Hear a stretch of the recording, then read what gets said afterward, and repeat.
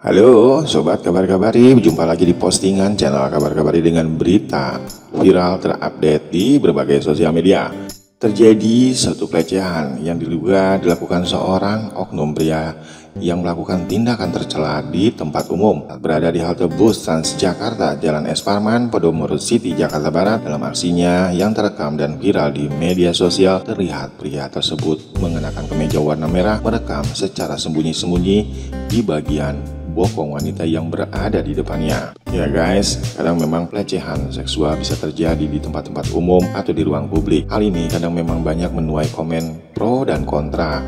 Ada yang memang disebabkan satu penyakit gangguan kejiwaan yang dilakukan oleh oknum-oknum tertentu yang memang memiliki penyakit-penyakit yang memang pelecehan atau pencabulan ya.